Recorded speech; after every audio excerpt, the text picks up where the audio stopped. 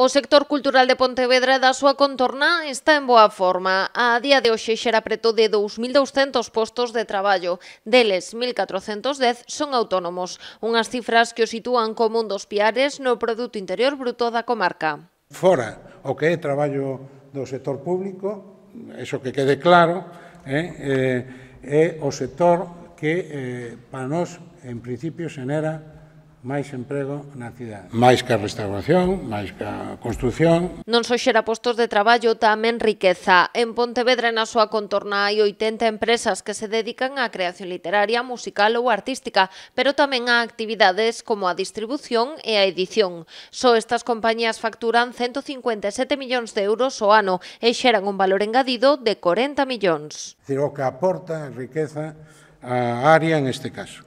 Si vemos a, a seguinte, pues vemos o análisis eh, a nivel de empresa, a nivel de, do Concello. Son 61 empresas que facturan alrededor de 17, de casi 18 millóns de, de, de euros e xeneran casi 8 millóns de eh, euros de valor engadido.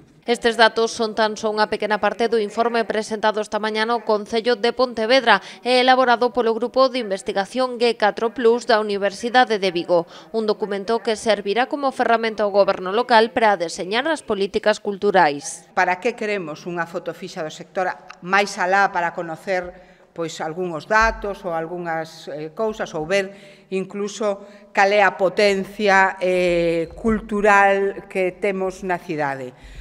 Pois témola funda... Eh, eh, para non é importante este informe para planificar, para poder seguir avanzando e seguir traballando na planificación, como digo, da cultura eh, do futuro. Mais aínda cando Pontevedra destaca como unha das cidades galegas con maior actividade cultural permanente. Segundo se recolle no estudo, o municipio conta con 48 eventos culturais de carácter anual.